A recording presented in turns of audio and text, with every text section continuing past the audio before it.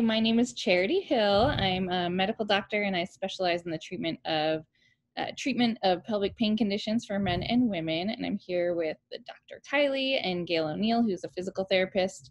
Um, we work as a team to treat these patients uh, since that's the way that we treat them best. And today we're just gathering to talk about uh, the journey that a pelvic pain patient may take on on the road and how they end up in our offices and some of the things we do to treat them.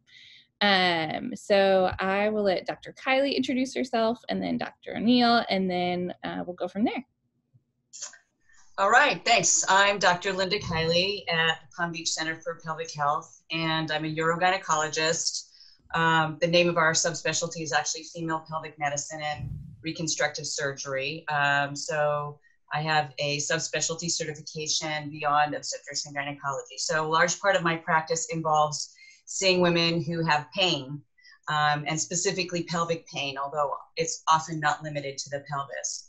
So when I see a patient in my office who comes in with, you know, whatever complaint it happens to be, uh, it may be incontinence, it may be urinary tract infections, it may be they feel that they have prolapse or a dropping of their organs. It doesn't really matter what their initial statement is about, I'm coming here because. Um, for me, the most important thing is that I get their entire story. I get the whole story of what their symptom is, not what somebody told them they have, because often they'll come in with somebody else's diagnosis, and indeed that's not exactly what is going on. So I ask them, tell me what's bothering you, and then we really go through an entire history of when you know when did it start? Can you associate anything with it? And i try to validate their experience and their feelings because many of these women have been in, uh, in to see multiple other doctors or practitioners or what have you. And feel like they've been either told they have a psychiatric problem and they need to be on medications for that or that they're imagining it or that you know this it's impossible that you could be having this and so they don't feel validated and um, they feel like they've been told they're crazy so for me, the first step really is to validate their experience and explain to them that I believe that they're telling me the truth. You know, um, then we go into records and history and life events, and then we go beyond that to diet, what kind of fluids they drink, what kind of activities they do, what traumas they've had, even if they're small ones. Have they been traveling? Is there anyone around them who's had any experiences like this? What is their family history like? Um, so really do the best I can to get the story and then do a very detailed physical examination head to toe. Um, I don't look in people's eyes or ears, but that's about the only thing I don't do. Um, so it's critical for me to get as much information, both verbally and um, visually, as I can, and then get all the information I get from my hands when laying hands on the patient. So this is not something that can be done as a virtual telemedicine visit. This is a hands-on, one-on-one thing, whether we've got masks on or whether we don't have masks on, it doesn't matter. I have to touch my patients and find out where they are having distress, what might be um, not quite normal. Um, I check their heart, I check their necks, as well as abdomen, pelvis, you know, the usual kinds of things. Um, and then once I've got a pretty good feeling for what's going on, either confirming some of the things that they've been told by other practitioners or telling them, you know, I really don't think it's that. I really think what you're experiencing based on what you're telling me is a different sort of a problem that requires a different approach. And so um, once that's all done, I create a treatment plan for them. And um, it typically, I would say at least 80% of my patients need pelvic physical therapy. That's a very important part of it. Um, uh, for patients who have other musculoskeletal issues, um, I may send them to a trusted chiropractor. Um, I talk to them about their diet, what they're eating, what they're drinking, when, how much um, other medications. I review all of their meds because very often side effects can create problems that they're not aware of. Even antibiotics. I mean, um, you know, we all know that there can be tendon issues with some of the fluoroquinolones, Cipro, Levaquin, that kind of thing. So um, I might add vaginal pain creams or oral medications, depending upon what's appropriate.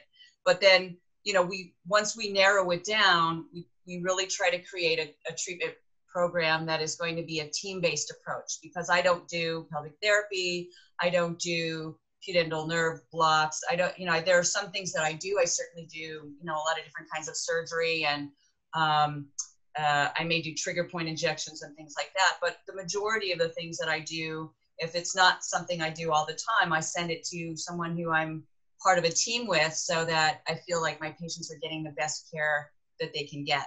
So um, that's pretty much where I go with all of this.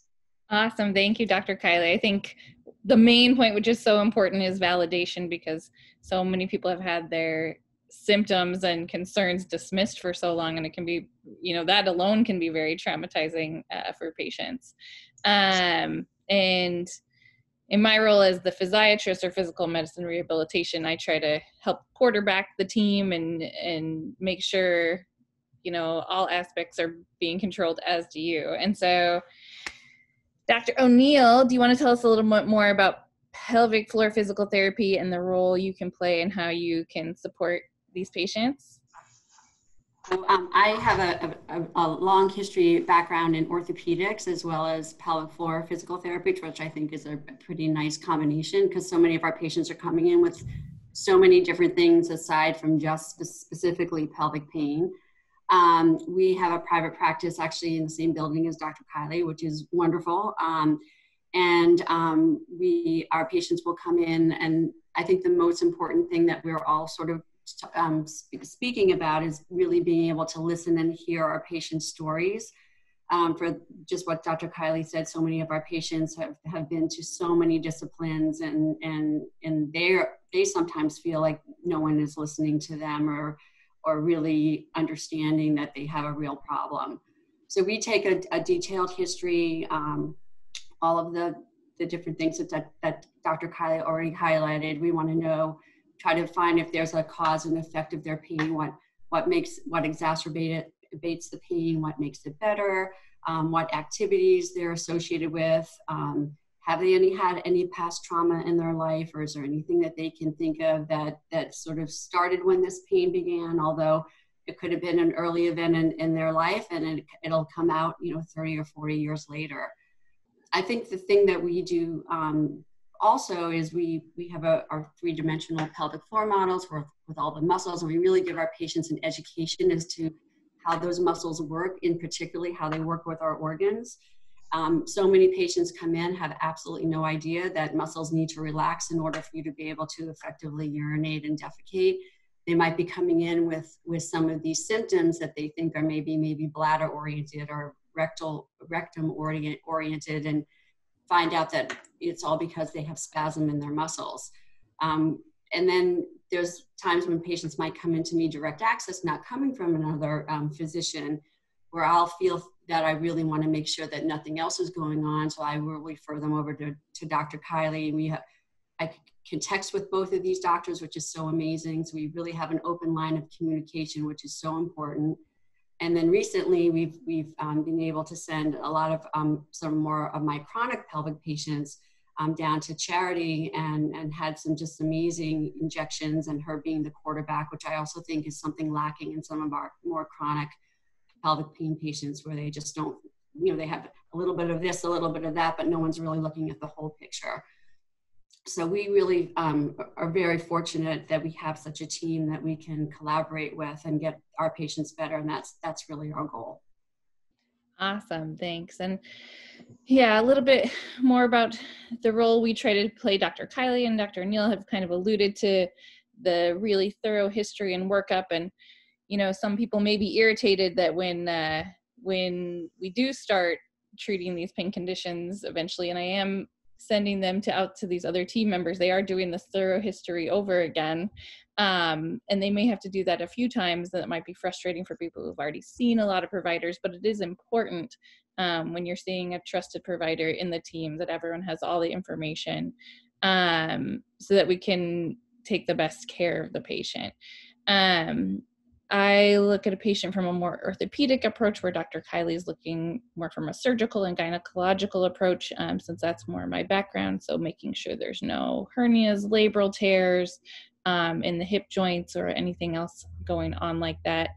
Um, I can order imaging, um, and we really, all of us, have the same philosophy in treating these patients, where um, we want to start off with the most conservative approach that's going to be appropriate um, and limiting risk of side effects. And so a lot of times we're starting with muscle relaxant suppositories or topical creams um, in combination with pelvic floor physical therapy. Um, because when these muscles um, are tight for so long, they get really short and spastic and weak. Um, and physical therapy is the most effective treatment at stretching that muscle, opening up that fascia, um, and restoring the proper function to that muscle and allowing ner- room for the nerves um, to heal and restore. Um, that's not happening in a reasonable timeline, um, then there's obviously things that we can do to speed that up, whether it's adding on nerve pain medications by mouth, um, or doing injections, uh, either trigger point injections or nerve blocks um, into the pelvic area to speed that process up um, to give the patient relief more quickly. Uh, I think the really important thing is to make sure you can access providers and some people watching this video may not be in south florida um, I, and might not know where to reach out to in your area um, and we will be adding on some resources to the end of this video, both links to all of our websites and links to other websites that can help you to access care in your area um, or closer to home. Because one thing I tell patients is like, don't give up. I won't give up on you, and don't give up on yourself. Don't give up on advocating for yourself. Um, and don't be afraid to question providers and caretakers that you may have had who have dismissed your concerns. Just keep searching, keep looking, um, and you're going to find someone who's going to be able to help help you. Um, anything else that you guys would like to say before we close up the video? Yeah, actually, I wanted to agree with you. And then, you know, one of the things that I think is really important because a lot of patients come in thinking that I'm going to recommend surgery um, and that they're sort of afraid of that, um, or they've already had surgery and they're not better or they're worse. And um, although I'm a surgeon, I'm I've been doing that for 30 years. It's you know something that I am trained to do.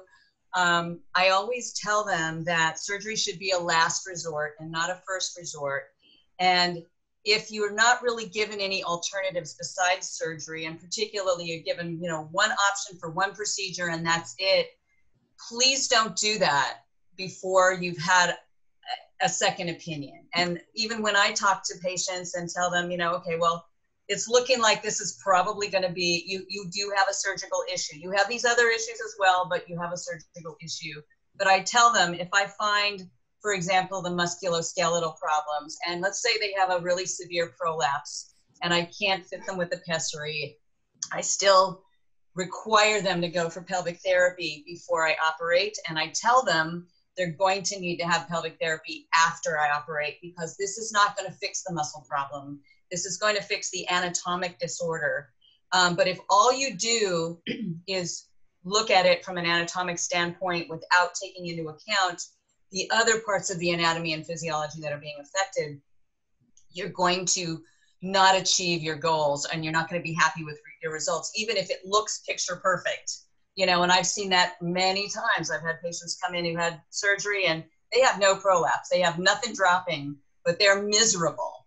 So um, I just want to emphasize, I guess, that seeing a urogynecologist doesn't mean you're going to get surgery.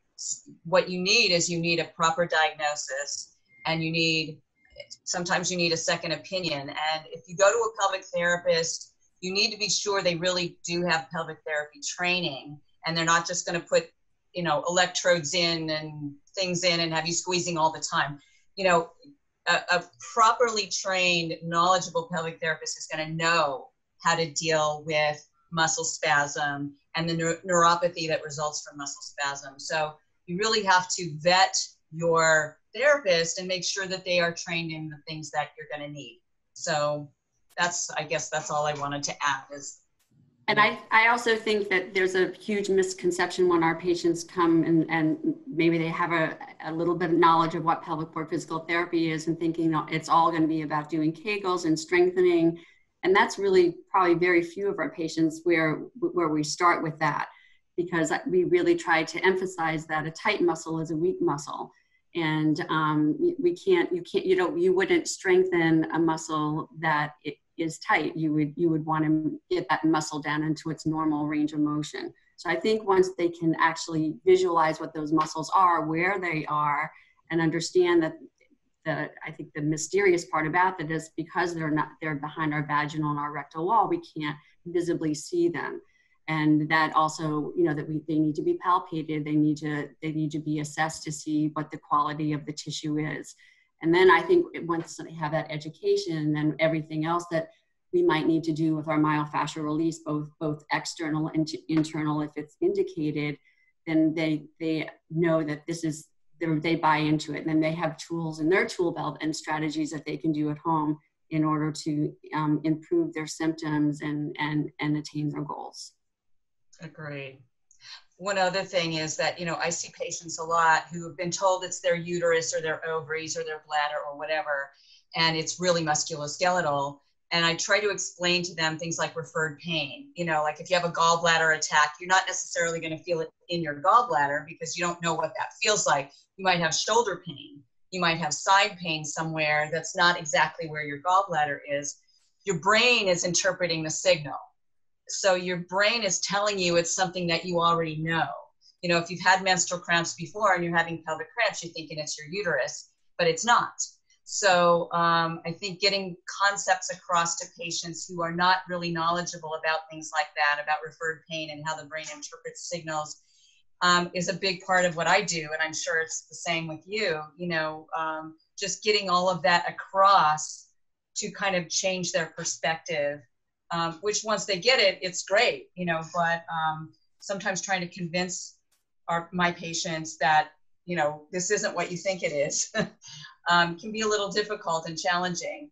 Um, but, you know, they get better when they get, when they go for therapy. So I, yeah, I think that's, that's a really good point that sometimes this pain can be a little bit elusive. Um, and some days it may be around the urethra and some days it may be on the rectum some days it might be on the tailbone or the sit bone um, or the lower abdomen and that's not a reason for other doctors to blow you off or for you to think that this pain is in your head or imagined. It's just kind of the way that this this kind of pain works is it's not necessarily consistent. The triggers might not make sense to you or to other doctors you're seeing.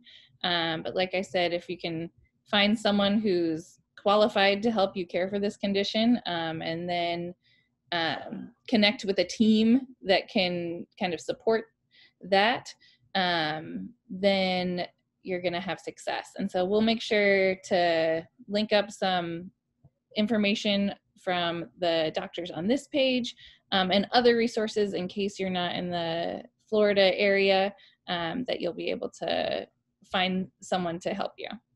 All right, we're going to sign off and hopefully we can do this again soon. It was lovely to see you guys.